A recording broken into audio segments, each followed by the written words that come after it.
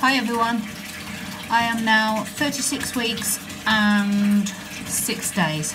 So I haven't done an update. I've just been really, really knackered and a lot going on with a one year old. Um, update first.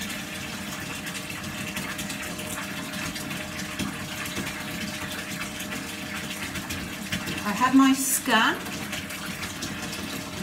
at 35 weeks and 5 days. Um, baby's head down and is weighing approximately six pound eight and that was at 35 weeks and five days. I am now 36 and six. So that was about a week ago. So would make the child around seven pound now roughly. Um, I'm not sure if you know, but I've been taking Clexane injections because of my age and being overweight. Um, I decided to go against the advice of taking those because for the last three days I've been injecting myself and I'm catching a vein or something and I'm bleeding quite badly and I'm having to stop it. So I need to speak to my doctor and see if there's anything else I can do because I'm not taking something that's going to make me bleed because I'm doing it wrong because I'm running out of space and where to do it. So yeah, I'm not a doctor. I'm I can't do it. That's it. Because I'm not risking it because especially with it being warfarin, which is a blood thinner, my blood's not clotting really quickly like it's supposed to. So that's causing an issue because obviously I don't want to end up bleeding to death from catching veins and vessels and things. So yeah, that's where I am with that. So today was my last one. I'm not taking any more. I'm not. Because, as I say, today I did the third one of three for the, today, yesterday and the day before. Every single one went wrong and I'm bleeding. Today was the worst one. I, I had to hold pressure on it for a long time. It just kept pouring blood onto my lap. Well, technically my leg. Um, so yeah, I'm not doing that no more. Uh, symptoms. Um, up until today, um, I've had serious heartburn and it's kept me up all night. I've literally been sitting there. Luckily, we've got a fridge in our room, and I've been drinking milk and taking Gaviscon and Betadine and things like that, but nothing's taking it off 100%, so it's just keeping me up all the time. Um, until today, that's been extremely bad. I don't know what's changed. Maybe he's engaged now. He or she is engaged in position now because the heartburn hasn't been as bad. It's manageable. Um, I have lost a big amount, TMI by the way. So obviously it's to do with pregnancy, so if you don't like gross things, turn off or forward. Um, massive amount of thick jelly-like discharge. Um, no smell, obviously. I had my last appointment yesterday, um, and they checked me for infections, so it's nothing like that. Um, the midwife thinks it's a mucus plug, which is a big amount of discharge from up there, that's all it is. It doesn't mean I'm going to go into labour anytime soon, but obviously technically tomorrow I'm 37 weeks, which if you did go into labour, they wouldn't stop it anyway, because your class is pretty much term. So yeah, um, because obviously there's slight now increase that I could have issues in birth because I can't take the Clexane because I'm going to end up dying or something because I'm going to end up bleeding to death. Um, it might have the opposite reaction now and actually not help because I can't take something that's, that's to me is dangerous because it's causing that, causing me to, you know, keep catching things. So yeah, I'm going to be having the child in the hospital. Luckily, I have somebody staying with us at the moment, my father-in-law, So we will, me and my husband will go into the hospital as soon as my waters break and I'm actually in labour and I've been in labour for a few hours. But my last labour was only seven hours. Um, so if I leave it a couple of hours and then contact the hospital and ambulance and all that lot, there's no point till then. Um, trying to think if there's any other symptoms that I've had or got.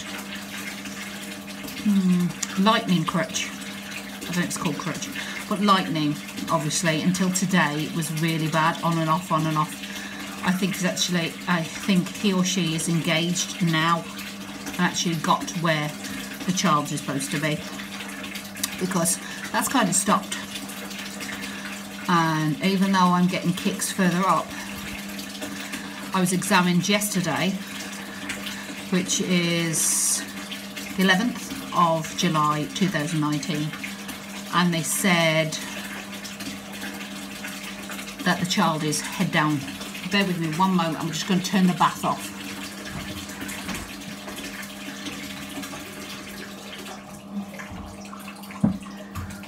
Because you probably can't hear me that well either, to be fair. Um, and I've got the extractor fan on, but we have to. Our house is complete rubbish. Get mould everywhere, otherwise we do anyway, but we don't want it in the bathroom as well. Um, yeah, really bad. Leaking boobs this week. Like really, really bad. A baby cries, they leak. My child cries, they leak. Um, something else as well which sucks, but it's nothing to do with pregnancy, unfortunately. Um, I now live in Wales, and me and my daughter have both been bit severely everywhere. My daughter's like dotted up, it's ridiculous. Um, but obviously, people are going to comment and go, Oh, you've got fleas or some rubbish like that. No, we haven't. Um, we've got this stuff called RIP, which is a flea thing you put throughout your house and it lasts up to a year. And that was only put down a couple of months ago. And I use Frontline on the dog. And I've checked her with the flea combs as well. She's got nothing. Um, so I went to the doctors and they said it's the gnats, which is to me a bit odd because I didn't think gnats bit. I thought mosquitoes did, not gnats. But she said that's what it is. And extremely itchy. It just reminds me of when you go somewhere really warm and you get bit by mosquitoes and it's super itchy.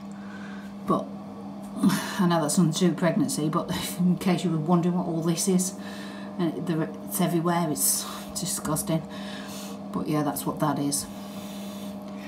Um, lately, I'm finding I'm extremely warm. My husband could turn the heating completely off. I'm still too warm. I mean, it's ridiculous. I'm having to put a fan on all night. It really is ridiculous. That's how uncomfortable I am. And obviously the baby kicks most of the night as well. So um, even if I manage to get any sleep, which is very rare, um, I'm boiling. I'm, I mean, I'm physically sweating now and I'm doing nothing. Um, so yeah, I'm finding these, this now, really quite uncomfortable. Um, I just want it done with, I really do. I want it done with. I thought I was in labour yesterday, but it turned out it was an intestinal thing because um, I've been backed up for that long. Constipation, piles, um, also known as hemorrhoids.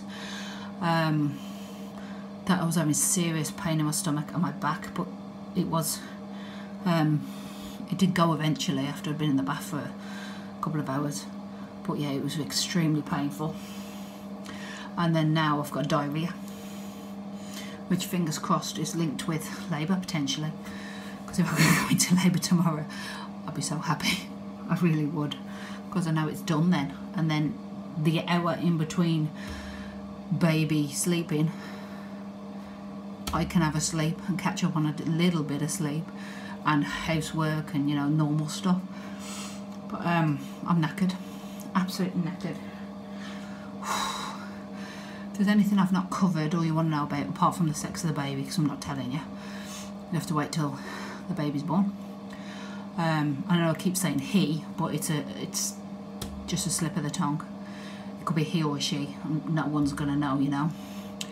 Um, I'm so warm. But yeah, if there's anything you want to know or I've missed out, please let me know. Like and subscribe and hit the notification button and you'll get all of his videos. Alright then, bye for now everyone. Bye.